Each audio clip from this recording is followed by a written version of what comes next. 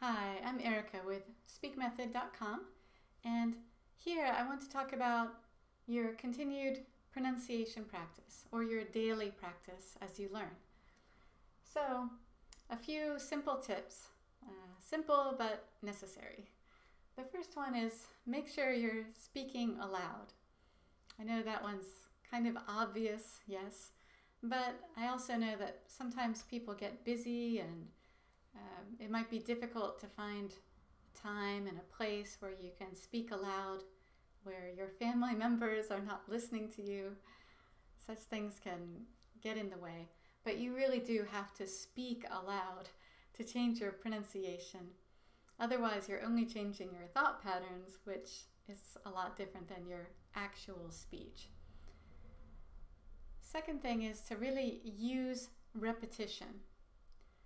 Pronunciation is a physical thing, so you have to change uh, physical habits.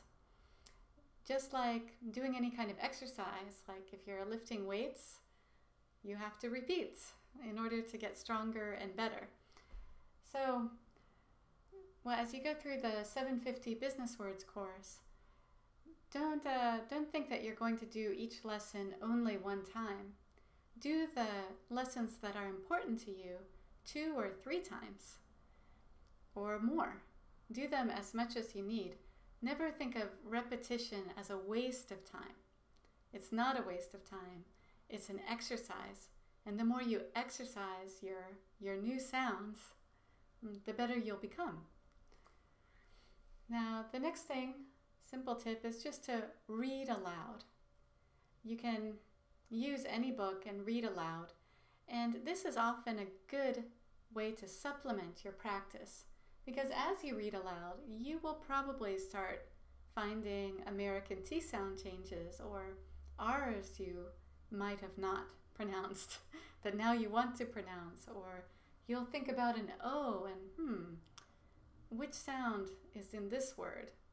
So it will help you to apply some of what you're learning to a new text. And then finally, listen, of course. So you can find videos and audiobooks are a great resource because, of course, a reader um, of an audiobook will go a little bit more slowly than some people in videos or interviews. And also, of course, readers of audiobooks are experienced with pronunciation, so they will tend to give you good sounds. Though you do have to watch out a little bit and make sure your reader is not from New York or southern Louisiana or something like that. You want to look for a standard American dialect there. Okay, so I hope these tips uh, help you as you continue in your pronunciation practice.